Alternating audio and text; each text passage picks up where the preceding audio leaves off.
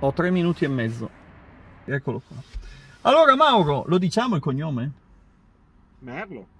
Bolognese o diverso? No, no, sono abruzzese. Di dove? Vasto. Quindi Vastese, la Provasto. Ero bambino, la Provasto era in Serie C1, alla domenica davano nei risultati la Provasto. Che maglia ha?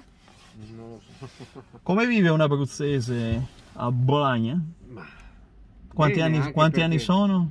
Tantissimi, io so- ho compiuto due anni a Bologna. Senta, ma se a metà del facciamo una gag e le rubo la pistola? Eh, non è il caso, eh. Cosa succede se non fosse qualcosa di concordato? Ma allora non lo faccio, ma adesso mi avvicino e gliela tolgo. Vengo denunciato? eh sì. Ma in questo senso la guardia è un pubblico ufficiale?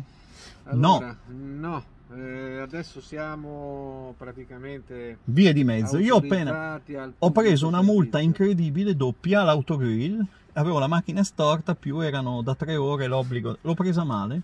Sono stato denunciato perché ho pubblicato il video. Quindi mi aspetta comunque una condanna per oltraggio a- e diffamazione a mezzo social. Ovviamente non lo faccio, Mauro, ma se io dicessi peste corna non di lei ma del suo, del suo lavoro, lei è equiparabile a un pubblico ufficiale o è un semplice cittadino?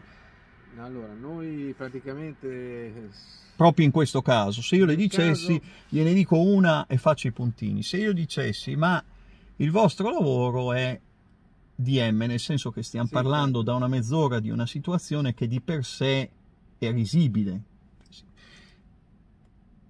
No- non- cioè, lei è un cittadino, certo, non è un pubblico ufficiale. Non Non, pubblico non scatta un aggravante. Mm, no, anche se diciamo con le ultime cose che ci hanno concesso sembra, ma questo sembra perché le cose vanno sempre prese con le pinze, che durante lo svolgimento del nostro servizio dovremmo ricoprire quella carica. E Mauro, una cosa sul filo del surreale.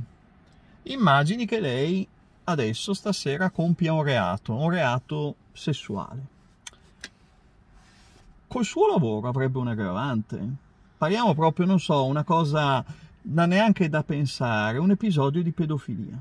Sì, Col sì. suo lavoro, proprio con la divisa, eccetera, no? Eh, adesso andiamo in un albergo come fossimo in Oriente.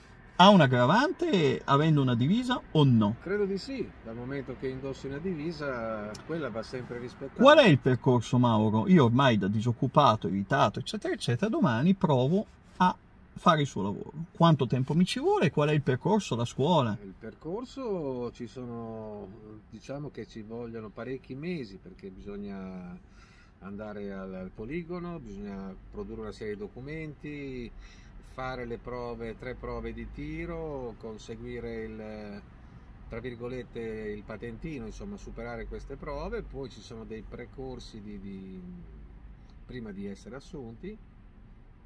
Sono felici le guardie, io non ho davanti lei tutto il suo mondo, voto il suo lavoro, voto, me- voto di Mauro e voto medio. Ma dic- diciamo che è un, eh, è un lavoro un po' difficile da prendere un po' con le pinze. Voto 6? 6, 6 perché le ore sono tante. Bravi.